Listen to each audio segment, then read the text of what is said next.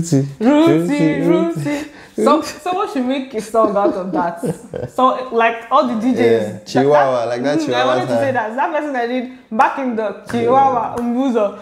Please, we need a song from it because it was so funny. Rooty, Rooty. You go to fight twins. How? So how you want to win? How do you want to win When your fight? partner is not even a fighter. Do you get exactly when your partner is DJ Flo that will not even be there trying to shout around with you or anything, right? How do you want to cope with that? So, guys, welcome back. I think you should do the intro. I'm handing over Hi to you. guys, welcome back to our channel. It's Anita season today, and we're back with another video talking about the after buzz boost Bam, of the eviction show. bam. exactly. After Gbas Gbos, don't forget to like, share, subscribe, and all the good stuff. This came as a result of the shaking tables that Ebuka did. So the question that Ebuka asked um, Rhuthee was, you say you don't like to, you don't like to speak behind people's back, and you said this particular thing about these people. That's Wanni. What she said about Wanni was that Wanni is stingy. Wanni is equally stingy, and she doesn't know why Wanni is like taking the situation with Onyeka personal because she's also like that. And right? I understand, I understand Ebuka for asking that question, and God will bless him very well because she's every time this girl has a conversation. What's her name again? Rhuthee. Rhuthee, yeah. Every time Rhuthee has a conversation, she's always like me. I'm like, if I don't, I I, say it to wouldn't talk. face. Yeah, I'll say it to your face. I wouldn't talk Yeah. Mm. behind your back, that kind of thing. And inside that same conversation that she was having, she wasn't saying it to their faces. yes, she was talking. She was talking behind their back about how stingy they are, and Yeah. that she's waiting for the third strike when she will now uh, let off her steam. The girl was making noodles. I'm not supposed to give her this food because I've come to her twice to ask for food and she has not given me. I said I'm a ticking bomb because she stepped on my food like a couple of times.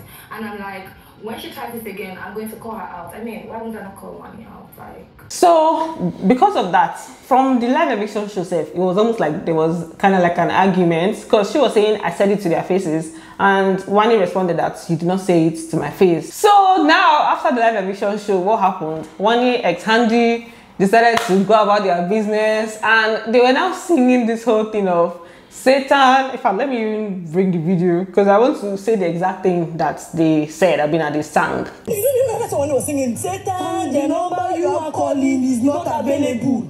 This girl they sing hater for me.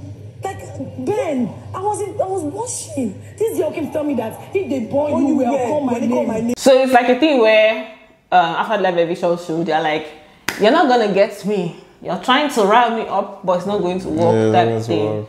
Yeah. But then she, I, I'm sure they were just singing in passing, and she heard it now. She caught the sub, and then she was now saying, "If they boy you well, say it to my face." And they're like, "Rhuthee." Call my name. The boy will call my name. Call my name, and they're like, Rhuthee, Rhuthee, Rhuthee, Rhuthee. What They're are you going it, to do and she was about still walking it? away. Ah, Baba, come and fight them. What She be say if they do them about well. it? Call They've shown you that they called them well. They born them well. Like I've called it. What are you going to do? So it, it was very funny to see like um, somebody saying if they born you well, do this, and the person does it, and you cannot do anything. Okay. What are you now going to do? We have done it. Call my name, and then they kept on calling it. She was now insulting them, dirty pigs. There are several things that she said. Yeah, business and so. Yeah. So at first, it was just Rhuthee like dishing out the insults. Then them they were just like Rhuthee, I'll uh, call your name. What are you going to do about it?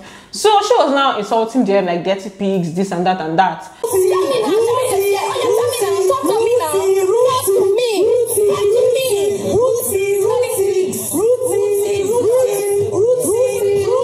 Handi now took it personal. Like um, at first she was trying to what they call it. She was trying to calm one one one. Yeah. Wanni, she was trying to calm her down, but then she saw that Rhuthee was not backing down and she was now insulting them. Yeah. Handi now took it personal. You see, quiet people fear them. You know that thing we're talking about where we're saying that now Handi is trying to calm Wanni down and was telling Wanni that she should not flare up. Today, Handy flared up more than the one that Wani did. Yeah, times two, sir. Times two of what Wani did. She called her, she used the B word, she used the F word, she used she even called her bastard. She called her several things today. What you, you get married, they press your breast. What is they pepper you? What do you want? You get married, they touch your toto. What is they pepper you? And this stop. leave her you dey you dey do everybody with me and my sister is she mad they born her well they born see you see this girl. Before they started the fight, Zinwe, they were trying to have a conversation. Maybe they are trying to settle their relationship matters. Because Ebuka brought it up. Maybe Right. I spoke about it during the live eviction show. He was just he he, he revealed that thing where Chinwe was talking about, you know, finances, um, emotions. She invested all everything, everything. She's the one that paid for his flight and all yeah, that. yeah. you on the other hand you, you gave you gave the impression of you know you were good not speaking me you were cool with every other person but me. So they were speaking about it, but the fight took over. So Kayode had to choose a struggle, and the struggle he chose was the fight, obviously, because that's where things were happening. So for the um, custodian challenge, you know I'm laughing. Imagine after fighting that the person you fought The with person now you goes on fight to win. come win. come win. How you want to react? Like it was Like, crazy. ah, it was crazy. No, me, I, I feel for her. I feel bad I for her. feel Like, so I, bad for I, her. her facial expression was just and then crazy. it's not even just that the person won. Their reaction after they were celebrating in your Their face. celebration they was so jumping. on point. They were. It was like so. Let's just let's just talk about how the custodian challenge went. For the first part of the custodian challenge, they had like um food food. What is what's in the call them? Food stamps. I'm not food songs. Yeah, like foam type stuff. Yeah, you shall put your, your feet on it and you would use it to walk basically. So you stand, you put it in front, you put your legs, you take the one behind, so you cannot step on the actual floor. So they kept using that to move up until they got to the end, right? And they they, they did it in two sets. The first set and the second set, like three people, three sets qualified from the first from the first set, and then um, three pairs also qualified from the second set. And the people that qualified were Rhuthee, they actually qualified. The Flourish they qualified. Yeah. Mayor Frosh and his partner, they Rhuthee had so much ginger in the first Yeah, set. she had so much ginger. She actually did very well, Yeah. right? Um, I think she was the first. Yeah, she won. She was. She got She was the first. first. But it's first three actually, so it didn't Yeah. matter. Yeah. So um, checkers, they also qualified. Toby F- um, Frosh and Mayor F- Toby Forge, Mayor Frosh, they they were all fighting for their lives because it was just like need to see this. You need to see, like the ginger was crazy. Then um, Nelita pair, they also got to the second part and stuff. So for the second part, they had to do they had to go over like a balancing beam or something. So you go from one side to the other to pick up um, some items that you assemble. And balance the items too. Yeah, balance, yeah, exactly. balance a ball on top of the items. I think that's the part that even like slowed Yeah. um, made, made some people not win because some people got to the end before the um, Wanni X Handi pair, but one A was able to like put her own, uh, was able to balance her own before them. So that's how they turned out to be like the winners of the custodian challenge. Their celebration was actually like oh, nice. Yeah. The before Yeah. before Big Brother ever announced that they had won, they had already started celebrating. Like Really? immediately, she just balanced her own. That's when their celebration Yeah, started. yeah, they're like, we won. People that said, why are you celebrating? Yeah.